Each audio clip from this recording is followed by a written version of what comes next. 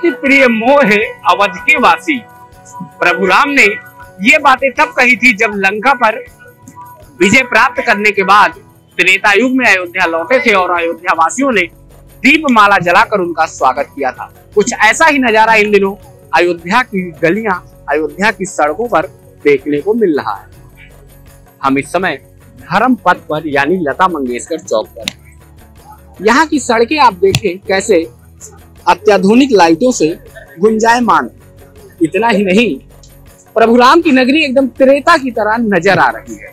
खास बात यह भी है कि इस बार बालक अपने मंदिर में विराजमान हो चुके हैं। बालक के विराजमान होने के बाद पहला दीप उत्सव है जिसे भव्य बनाने के लिए प्रदेश की योगी सरकार सभी तैयारी पूरी कर ली है। घाटों पर वॉलंटियर दीप 28 लाख लगा चुके हैं। अब कल एक बार फिर पूरे विश्व की निगाहें धर्म नगरी अयोध्या पर टिकी रहेंगी। लेकिन इस समय अयोध्या वासी भी दीपोत्सव स्थल पर जाकर और अयोध्या की त्रेता युग वाली छटा को अलौकिक कर रहे हैं। हमारे साथ कुछ लोग भी मौजूद हैं। उन्हीं से बातचीत करते हैं। ये त्रेता युगीन अयोध्या कैसी लग रही है आपको? बहुत अच्छी लग रही है।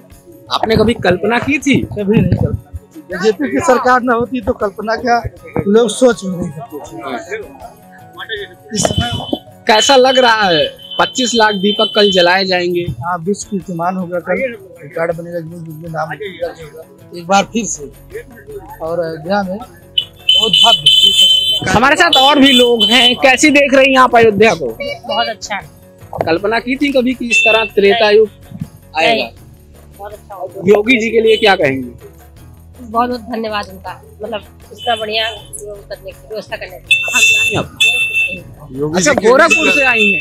अयोध्या को पहले पहले भी आई होंगी अयोध्या? बार आई। तो पहले की अयोध्या अब की अयोध्या में कैसा लग रहा है? बहुत फ़र्क है पहले में अब मतलब बहुत अच्छा हो गया बहुत डेवलप हो गया है पहले के मुताबिक। अच्छा अच्छा। तो इस बार दीपावली में यही मनाने का प्लान हाँ, है? दिवाली यही मनाने का प्लान है इसीलिए कैसा लग रहा है भैया अयोध्या? आपके सामने है देखिए कैसा लग रहा है? मस्त तो है। बिंदास एकदम। योगी जी ने विकास किया है? बहुत। अब आपको न दिखाई दे तो अलग बात है। हमको दिख रहा है। आपको दिख रहा है? हमको तो दिख रहा है। अच्छा पूरी नगरी भैया त्रेता की तरह नज़र आ रही है। त्रेता तो नहीं देखे हैं लेकिन इसको देख रहे हैं। तो अनुभव हो रहा है।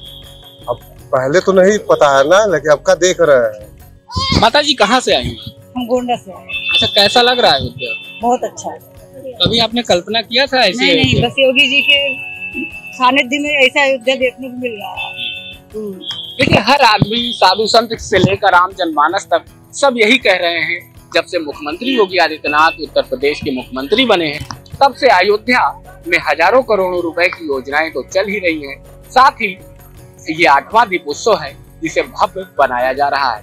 खास बात ये भी है। अच्छा माता जी राम मंदिर बन गया है अब। कैसे देख रही हैं? राम मंदिर भी बन गया दीपावली भी मनाई अरे इसके साथ साथ अयोध्या का बहुत विकास हो रहा है लोगों को रोज़गार मिल रहा है और क्या चाहिए? ऐसा मुख्यमंत्री जीवन में पहली बार हम लोगों को मिला। कैसे कैसी लग रही है अयोध्या? कभी कल्पना किया आपने? बहुत अच्छी लग रही है। बहुत अच्छा लग रहा है यहाँ पे आके। अच्छा पहली बार आई है? पहली बार नहीं हम हम यहीं पे रहते अच्छा यहाँ रहती हैं हर बार हर, बार दीपावली में आती होंगी लेकिन इस बार आपको क्या खास लग? पहले से हर बार भव्य ही हो रहा है हर साल से ज़्यादा। इस बार क्या खास लग रहा है आपको? बहुत अच्छा लग रहा है।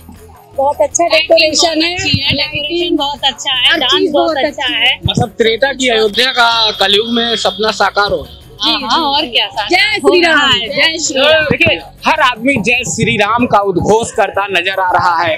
शायद यही वजह है कि अयोध्या कलयुग में त्रेता युग की तरह नज़र भी आ रही है। अयोध्या से न्यूज़ 18 के लिए सर्वेश श्रीवास्तव।